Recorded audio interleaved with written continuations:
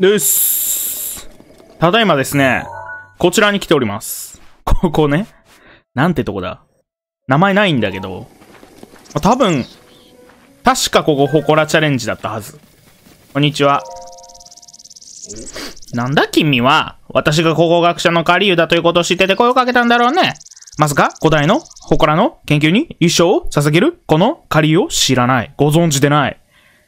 まあいい機会なので私の名前だけでも覚えて帰ってくれ。カリユさんではなくそのカリユ先生と呼んでくれ。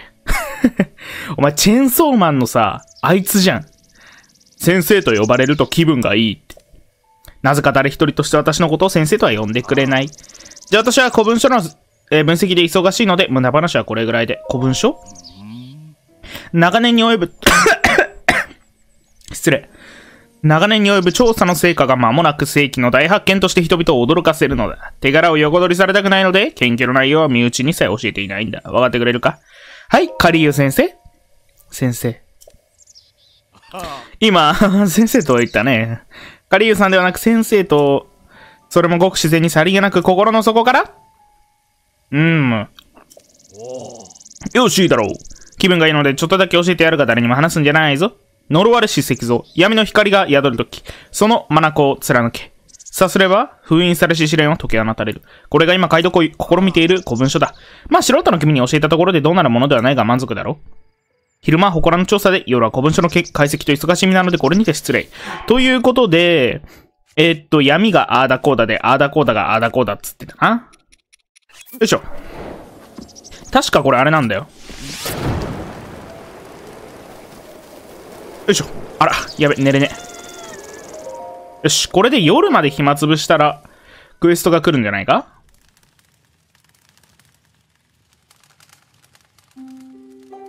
よいしょ。あ、来た。おれ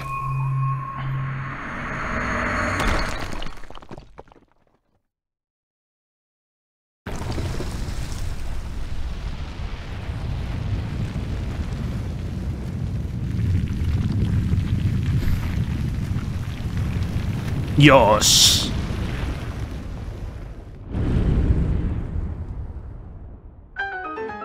ごまだれ？呪われし石像コンプリート。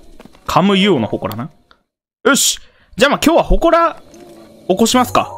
あのー、結構俺がピン刺してるとこにさ、多分祠があると思うので、まあ、怪しいとこにピン刺したのよ。ねえまあ覚えてなかったりするからさ、昔の記憶とかで。とりあえずここら辺を行ってみようかななんて今回は思います。ということで、まずあれだな。なんか、リト族のクエストであったとこ行くか。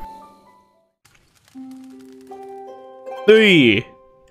ここだなで、確かチャレンジの内容が、どれだっけなこれだ、これだ、これだ。違う。こっちか。えーっと、おじいちゃんが大きな山の大きな木から北の西の方を見下ろすと白い鳥さんが飛んでるように見えましたと。えー、北の、北の？西。え？あ、あれかあれが鳥に見えんのかわかるかこれ。ここが頭で、ここが羽、ここが羽、ここが尻尾だな。で、鳥に見えると。オッケー。で、えっ、ー、と、飛んでみたらお腹の中に大事なものが入ってたと。思い切って飛んでみますか。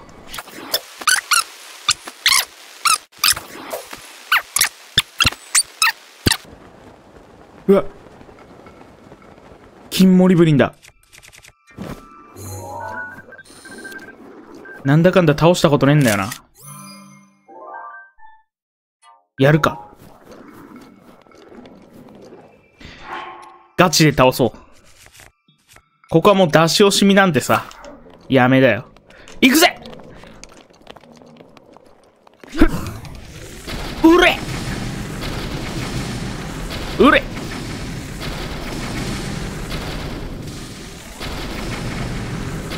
えい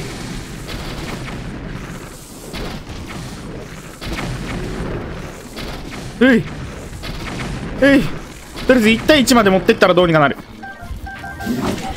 いっていっていって即死。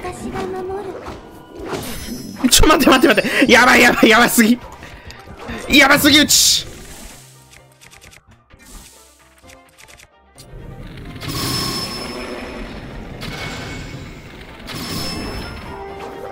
硬すぎな、こいつ。痛い、痛い、痛い、痛い、痛い、痛いって。ふっとりあえず1対1まで持ってこう。ちょ、ガード性能高すぎじゃん。おめえずるじゃん。ずるじゃん、こいつ。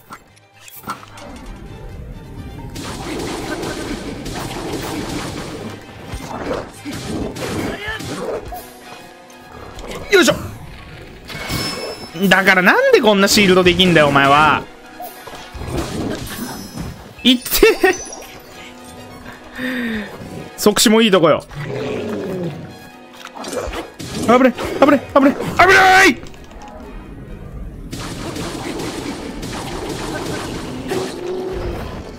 うう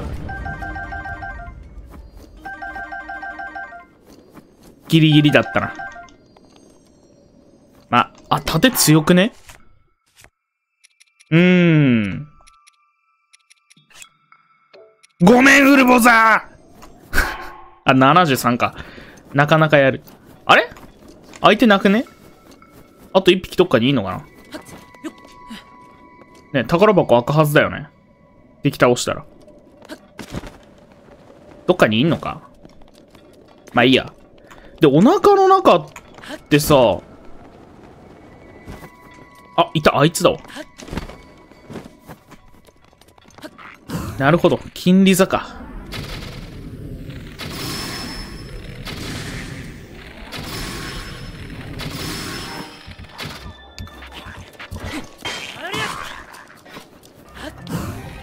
バイバイ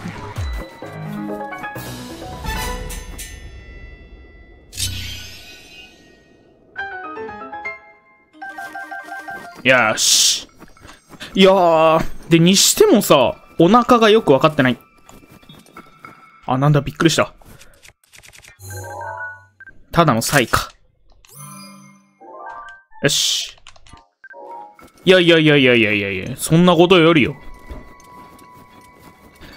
どこにお腹があるんですかねよいしょ。はい。大家の盾。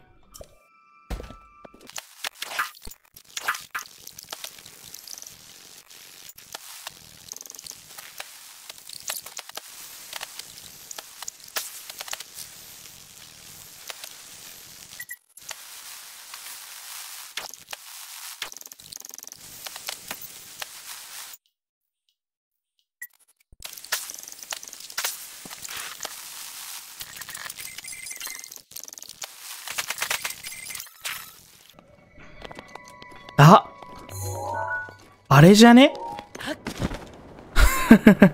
めっちゃ探したわ、マジで。めちゃくちゃ探したわ。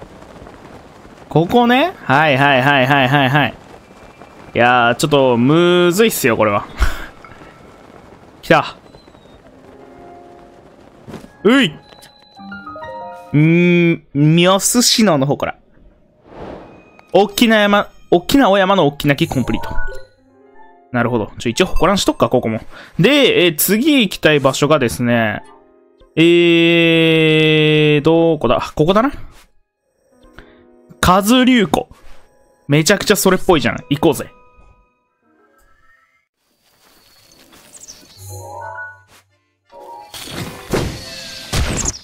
ん？なんか聞こえね？おい、ちょっと音楽かぶせんな。おい、カッシーワの音聞こえたんじゃ、お前。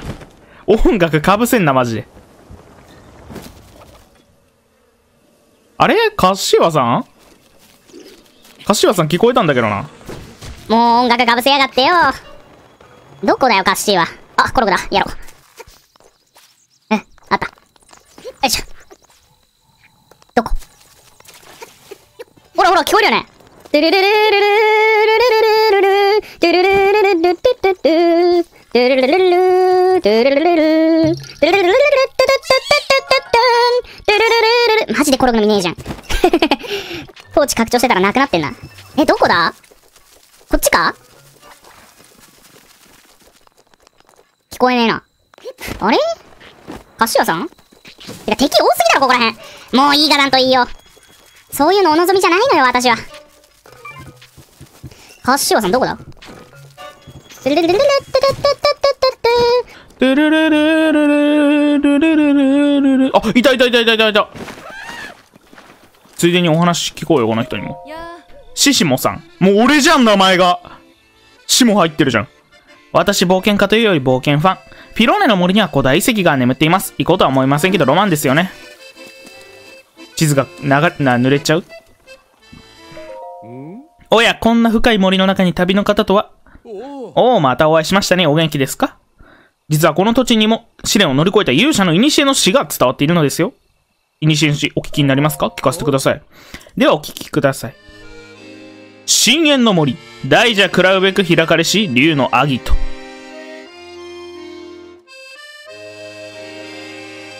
そこに勇者の試練が眠る。なるほど。深淵の森というのはここから北にある、えー樹海ダムゼルのことだと思いますが、この辺りで大樹はおろか蛇も見たことありません。ましてや竜など。きっと私には思いもやらない秘密が隠されているのでしょうね。では、あなたの旅路に光がありますように。おこらチャレンジ。大樹暗石竜。たぶ、あ、大蛇か。多分、これのことなんだろうな。この蛇みたいな。だから、これをなぞっていって、ここ左だなルルルルルルルルルいやー。ルルルルルルそれは今日のリンクくんこれです。ファッションをね。白です。白リンクです。お、これさ、あの、市から村に、蛮族揃えたからかなんか知らんねんけど、蛮族発売されててさ、これあれなのかな蛮族装備1個入手したら、全部発売されるのかなだから兜がね、何個も買えるようになったんで、ちょっとおしゃれなんで色々買ってみました。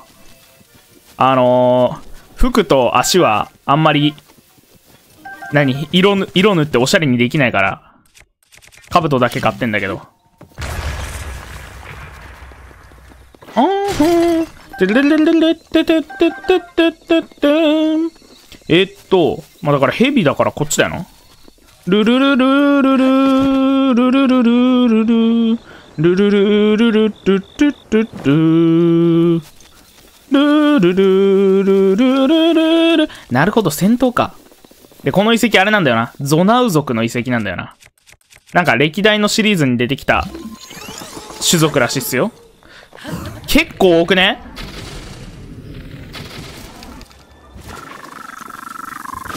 ういえいよし。弓、弓兵はいらねえな。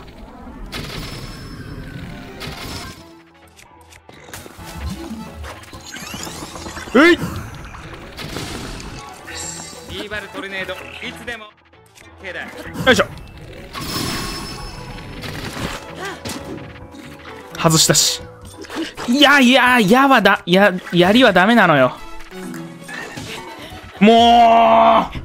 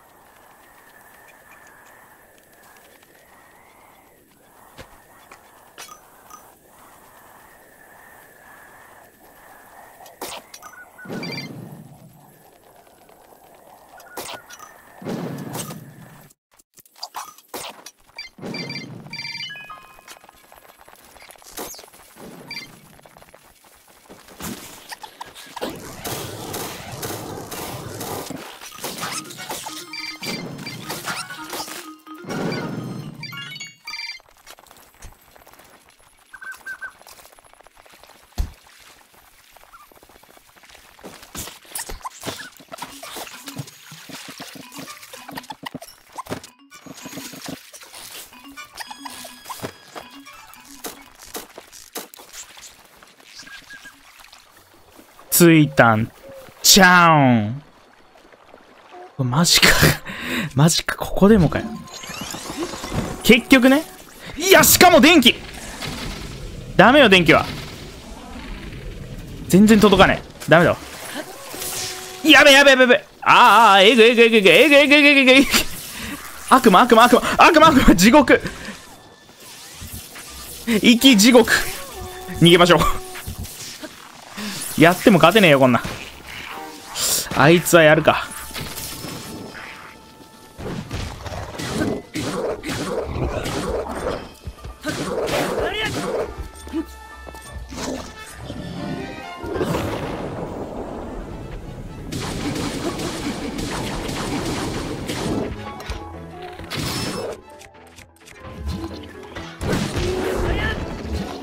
よーし。宝箱金ルピーなるほど。えー、来ないで来ないで来ないで来ないで来ないで来ないで来ないで来ないで来ないで来ないで。えー、こんにちは。よくぞこの泉を訪れました。プロドラの鱗を捧げなさい。あなたを導きましょう。あるっけプロドラの鱗。鱗、鱗、ふ、プロドラ？プロドラの鱗？な、なくね？な、ないんじゃね？あ、これか。あ、あるあるある、あるある。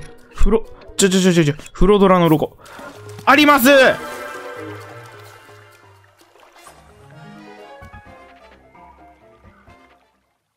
100襲われる3秒前じゃん。広末涼子かよ。よし。さあ、道は開けました。進みなさい。あ、鱗パクりやがった、こいつまあ、仕方ない。大蛇、暗石竜、コンプリート。よし、はい、もういいです。消えます。えー、っと、で、あと、つばつけてたやつが、あ、これだな。ここね、8人目の英傑像ってやつがあって、多分これゲルド族のサブクエかな？ちょっと、一旦ゲルドの街行きますか。あ、いたこいつだ、こいつ。こんにちは。さささささぼった。僕はボテンサ、35歳独身趣味はジョギング。みんなからよくも悪くも頑張り屋さんだねって言われます。君は一人なのかね？よかったら僕と一緒に。砂漠なのによく走れますね。あ、サンドブーツに気づいちゃったこれさえあれば砂漠の砂に取られず、普通に歩けるようになるからね。ジョギングだって楽々さ。だからよかったら一緒に、ください。え？いや、これは超レアもので、譲ってあげたいのは山々なんだけど、でもこれ仲良くなれるチャンスかも。そ、そうだね。譲ってあげてもいいよ。代わりにお願いがあるんだ。君は8人目の英傑の噂を知ってるかい？ゲルド地方に伝わる7人の英雄伝説。だけど本当は8人目の英傑が存在したらしいんだ。英雄伝説か。彼女がなぜ歴史から葬られてしまったのか、それは誰にもわからないんだけど、あ、女性なのね。噂はあれど、誰も見たことがない幻の英傑。子供の頃からの憧れだったんだ。だからその8人目の英傑を見せてもらえたらサンドブーツを譲ってあげてもいいよ。オッケー、探してきます。やった8人目の英傑は彼女を慕う者たちによって、今でもゲルドコーチに祀られているっていう噂があるのと、えー、赤褐色の巨人って意味を持つこと以外はよくわかってないんだ。永久伝結なる詳しい人が街にいるって聞いたことあるけど、絵でも何でもいいんだ。見つけたら教えてくれるかい？ただし、絵ならせめて上半身がわかるもので頼んだよ。あとこれ使ってよ。君の役に立つと思うんだ。スノーブーツ、雪上スピードアップ。ボテン差から借りた靴、体重を分散させる工夫がされていて、深い雪の上でも移動速度が落ちない。ゲルドコーチみたいな雪深い場所だと、雪に足を取られて歩きづらいだろでも、このスノーブーツがあれば、深いところでもいつも通り、いや、いつも以上に早く歩けるんだ。これも作り手がいなくて貴重なものだからあげることはできないけど、8人目の英傑、英雄か。8人目の英雄のことはいろんな人が調べてるけど、まだ謎が解けてない都市伝説だ。謎を調べてる間に仲良くなって、そして、ふふ。衝撃の事実を教えてやろうぞ、こいつ。あ、まあいいや。女装は今しなくていいか。よし、じゃあ、ここっすね。どうやって行こうかな着いたね。よいしょ。ここが、多分、8人目の英雄像なんだよな。上半身が映るように。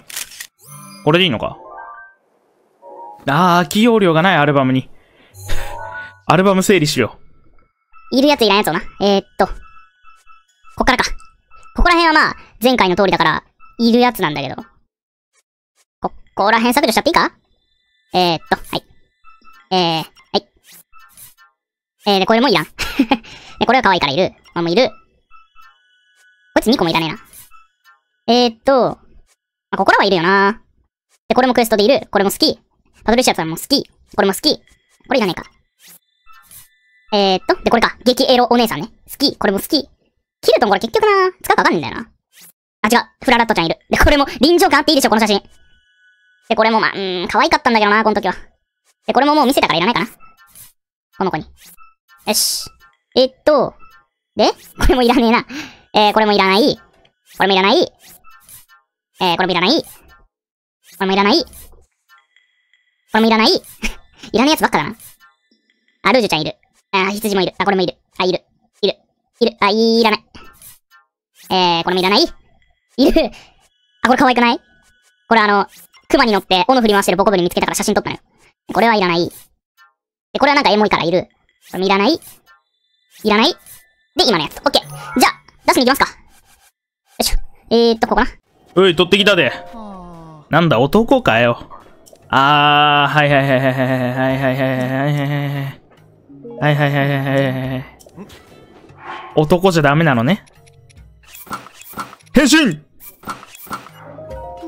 よかった、無事だったんだね。なかなか帰ってこないし心配してたんだ。単なる都市伝説で存在しないものなんだ。僕、君とお近づきになりたくて、無理なこと言って引き止めておきたかっただけなんだけど、結果的に君を危ない目に遭わせることになったんじゃないかって不安で不安で。もう君を危ない目に遭わせないよ。これから僕は君を守、見つけたよ。僕を心配させまいと慰めてくれてるのかい？君は優しいんだね。でもそんな気遣いもよさ。これから僕が君を、これ見て。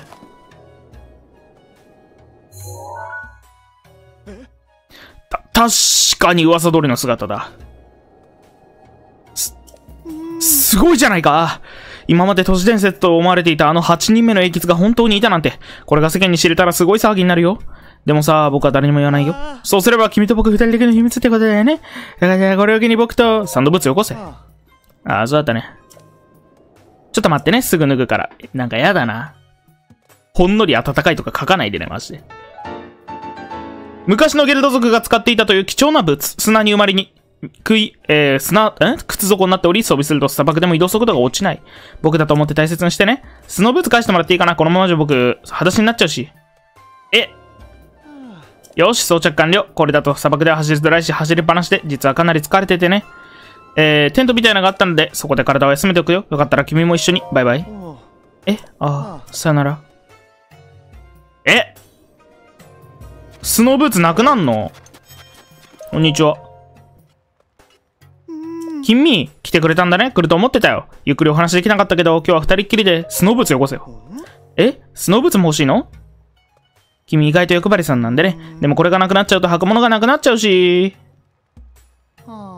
どうしよう、ここで彼女の機嫌を損ねたくないし。よし、今度もあの手で行こう。そうだね、君の頼みじゃ断れないな。ただ前みたいにまた僕を驚かしてくれたら、スノーブーツをプレゼントしようじゃないか。8人目のエケザの巨像、剣を持っていなかったのに気づいたかい ?7 人の巨像は全員剣を持っているのにだよ。8人の、きっと8人目のエケツにも剣があったはずなんだ。この剣が本当に存在するのであれば驚くことはないよ。探しに行こうか。え、行くの？巨像が持つ剣だからそんな遠くへは運べないと思うし、ゲルドコーチのどこかだと思うよ。今度はスノーブーツ貸してあげられないよ。まあ、スノーブーツなしで普通の女の子がゲルドコーチに登れるわけないし、途中で諦めて帰ってくるよな。分かったよ、君には負けたよ。じゃあ僕はここで待ってるね。スノーブーツとか関係なく、用があるときはいつでも声かけてね。いや、なるほどね。探してこいってことか。オッケーオッケー。オッケーオッケーオッケー。よし。あともう一個クエストがあってですね、モルドラジークの木も集めてきてってやつ、集めてきました。ということでね、渡しますか。えーっと、どこだっけなあの子。ここに。あ、いたいたいた。こんにちは。メルエナさん。サボった。ああんたかい。旦那はこんなか私を可愛いって言ってくれた唯一のボーイなんだ。私は何が何でも肝を手に入れないと。でも私の力ではあげます。これって、モルドラジークの肝？本当にもらっていいのか？うん。サクサク。こんな形でしかお礼できないけど受け取ってくれないか？あありがとう。これであの人もグス。ミニチャレンジモルドラジークの木もコンプリート。で、ここにもクエストがあるんだよな。こんにちは。ティクルちゃん。サボったどうしたのお姉ちゃん。あれ？あれ？ティクルのクエストまだできてない。初、発動条件がわからん。クエストの。よいしょ。そうだなこんにちは。マキュアちゃん。サボったあ、外国人のお姉ちゃんだ。マキュアね、お馬さんごっこしてたの。お馬さん？お姉さんお馬さん知らないの？お姉さんとこにはいないの？お外をどしんどしん歩いてる大きなお馬さんがいたんだけど、どっかに行っちゃったみたいなの。きっとみんなが悪い子悪い子って言うから言い出しちゃったんだよ。はーん。あ、そうや、ルージュちゃんの日記更新されてたんで読みますか裏作業で見つけたんでね。よいしょ。マキアルージュ。最後のページ更新されてたな。最後のページが更新されてました。はい。わらの願いが届いたようだ。英傑を名乗る者が現れた。ナオリンクというらしい。ビューラーひどく警戒していたが、我が国の宝を族から奪い返し、ナボリスをおとなしくさせたその力に今ではすっかり信用しているようだ。あの者がボーイだということもすっかり忘れているようだ。いや、忘れたふりをしているだけか。ふん、あの堅物のビューラがボーイに心を許すとはな。なんかいいよね、こういうの。とのことでした。よいしょ。お話も聞きます？あれだったら。こんにちは。いろいろあったが本当に世話になったな。あ、はい。なんだ。ボーイだということは悟られないようにね。雷鳴の兜を身につけ、お主と共に戦った時名前を呼ばれた気がしたんだ。ルージュとな。この名前で呼ばれたのは久々よ。あの力強く、温かく包み読む、ち、ちょ、あの力強く温かく包み込むような声の主はウルボズ様だったのかもしれないな。ルージュ。い、いくらお前でも族長様へのそのお状況を許せんかわいい。まあいいではないか、ビューラ。たまには名前を、名を呼ばれるのも悪くないものよ。かわいいね、ビュー、ビュ、ビュ、ビュ、ビュ、ビュ、ビュ、ビュ、ビュ、ビュ、ビューラ、ビューラ。ルージュちゃんな。こんにちは。こんにちはじゃねえな。待て、それは我が国の宝、雷鳴の兜。いくらお前といえど気安く触れることは。まあ落ち着け、ビューラ。お前、この兜が欲しいのか欲しいっすね。そうか、しかしお前が恩人でもこれだけはくれてやることはできんのだ。だが、お前が立ち向かおうとしている相手は、ウルボザ様の敵。お前が心から望むなら貸してやらんこともないぞ。ぜひ。では、お前の本気を見せてもらおうか。この兜はこの国の宝。民からの信頼も得てもらいたい。悩みを持つ民をすべて救い、この町をまごうことなき平和をもたらしてみよう。この町にな。ゲルドの司法、雷鳴の兜。お前の力は確かなものだ。しかし力だけでは民は救えぬぞ。雷鳴の兜をゲッチュしたいですね。これがフラグになって、ティクルちゃんのクエスト出るんじゃないか？なんて思ってますよ。よいしょ。あ、来たフラグだわ。やっぱ。あ、外国のお姉ちゃん、サバーク。うー、ティクルね、フルーツ畑作るためにね、ゴミ拾ったり、草を抜いたり、土を耕したりずっとお世話してきたんだ。なのに、なのに、ゴミが、ゴミがたくさん流れてきて水場が使えなくなっちゃったの。お水が使えないともう畑作れないよ。これだな。犯人は誰だ？このスイカのゴミがな。ひどくて、農園が作れないそうです。よいしょ。ということで、このな、スイカの流れを遡っていきますか。うーいや、BGM いいんだよな、ゲルドの街。ルールルルトルルルルルルマジで次回作楽しみだわ。え、俺なんかすんげえ願望なんだけどさ、BGM 全部リテイクしてほしいわ。アレンジしてほしい。すごい大変だろうけど。こんにちは。何よ、あんたそんなに見られてちゃ食べづらいじゃない。あっち行きなさいよ。カクカクしかじかでですね。え、ゴミ？小さなバイが困ってる？急にそんなこと言われても私が何をしようと自由じゃない。そんな目で見ないでよ。分かったわよ。でもその代わり一つお願いがあるの。私一度でいいからイチゴが食べたいのよね。持ってきてくれるなら我慢してあげてもいいよ。いいよ。ゲルドコーチの、えー、降雪地帯に生えてるんだけど、険しい場所も多いし、なかなか取れない貴重な、希少な果物だから市場にも出回らないのよね。あ、ちなみに1個とかじゃお話にならないからね。そうね。10個はないとね。多分あります。ゴミのことなんて考えてなかったけど、まさか私の食べかすがこんなことになっていたなんて。でもその子には悪いと思うけど、1、50個持ってくれない限りはた止めらんないわ。え、本当に？あげます。甘いこれがイチゴか。美味しい上にゴミも出ない最高のフルーツだわ。イチゴってヘタ、え？ヘタ食べたの？これさえあれば他の食べ物はもういらないかも。でもその子には悪いことしちゃったね。自分の欲が満たされたから自分がどれだけひどいのか気づいたよ。ゴミ片付けてくる。あんたには世話になったね。サクサク。よいしょ。チャレンジ更新。犯人は誰だ？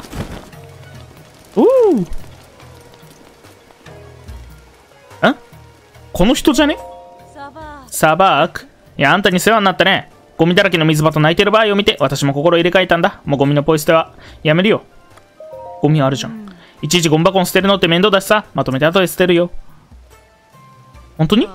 何その顔？ポイ捨てはやめたし、これだってちゃんと捨てるからいいじゃない。ふん。そうかい。ピクルちゃん。あのね、知らないお姉ちゃんがゴミ掃除を手伝ってくれてね、水場がすっかり元通りになったんだ。私がやったってことは言ってないんだな。お姉ちゃんがゴミのこと話してくれたんでしょ？サクサク。そういえば、お掃除場のお姉ちゃんからひんやりメロンもらったんだ。お姉ちゃんにもあげるね。ティクルのこと心配してくれた俺だよ。ひんやりメロン。そうそう、掃除のお姉ちゃんからイチゴももらったんだ。だからそれを植えてね、ティクルの畑をイチゴ畑にすることにしたんだ。お姉ちゃんならいつでも食べに来ていいよ。楽しみにしててね。ミニチャレンジ、犯人は誰だ？コンプリート。これであれなんじゃないか？この街のクエストも全部やったんじゃないか？多分。モルドラジークやったし、宝石店もやったしで。雷鳴の兜は受け継いだ特別な、んウルボズ様の力を受け継いだ特別な兜。す授かりたくばえー、悩める民を救い、孫をことなき平和をもたらしてみよう。あれ？ダメでした？あ、ダメか。あれまだあるっけクエスト。